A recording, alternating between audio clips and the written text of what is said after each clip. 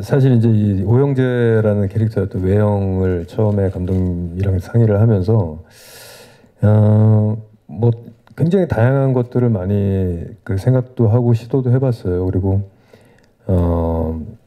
뭐 이렇게 원작을 읽었을 때 어떤 그 처음 드는 어떤 이미지 그 샤프하고 굉장히 날카롭고 예민하고 또 그 어떤 마을의 대주주의 아들이고 또 치과 의사면서 병원 원장이고 하여튼 뭐 그래서 뭐 머리도 이렇게 굉장히 좀 샤프하게 넘겨도 보고 또 이렇게 좀 날카로워 보이는 안경 같은 것도 다양하네. 써보고 뭐 했는데 그냥 뭐 어떤 그 뻔한 거 이상이 것 같은데 감독님이 갑자기 저 머리를 한번 해보자라고 하셔서 처음엔 좀 농담하시는 줄 알고 제안을 뭘 그렇게까지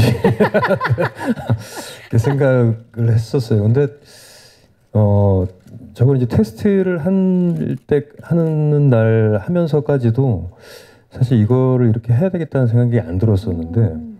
완성되고 난 것을 보니까 뭔가 제가 그 저 같지 않은 그 낯선 느낌이 비로소 딱 들더라고요. 그 인물이 그- 된것 같은. 네, 그래서 감독님이 그때 해주신 말씀이 굉장히 또 기억에 남는데 그 동건 씨 같은 경우는 이렇게 좀 가면을 쓰면 훨씬 그 연기하기가 더 편해지는 스타일인 것 같다.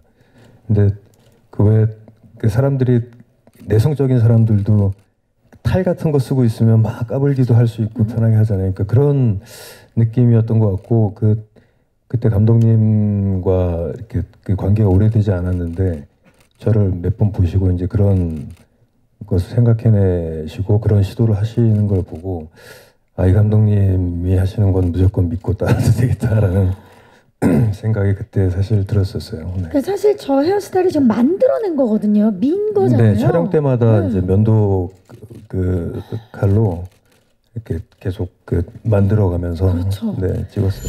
너무